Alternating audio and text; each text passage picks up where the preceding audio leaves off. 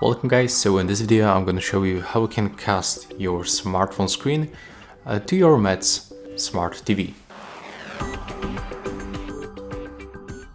So at the first, you have to be sure that you are connected to the Wi-Fi network on your Metz TV.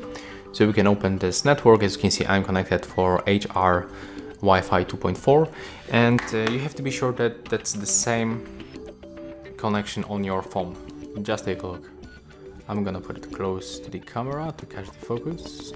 Maybe just like that. Okay, as you can see, I'm also connected for the same network on my Android smartphone. And we have to basically connect it for the same network. And what do we have to do right now? Um, I'm on YouTube and I would like to cast any YouTube video. Okay, uh, for example, this one. So I can open it and then tap on this icon.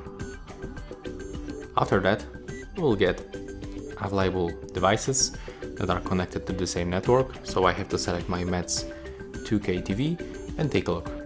YouTube will be open on our TV. On the phone it looks like that. That's uh, loading information.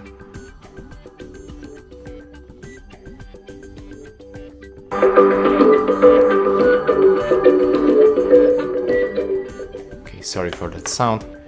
And as you can see right now, uh, we easily cast uh, this uh, video from our phone to our Metz TV. As you can see, that's very simple.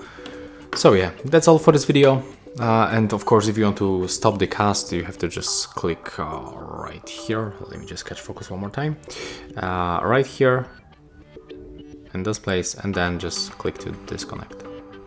Oh, I just misclick. One more time, disconnect right here.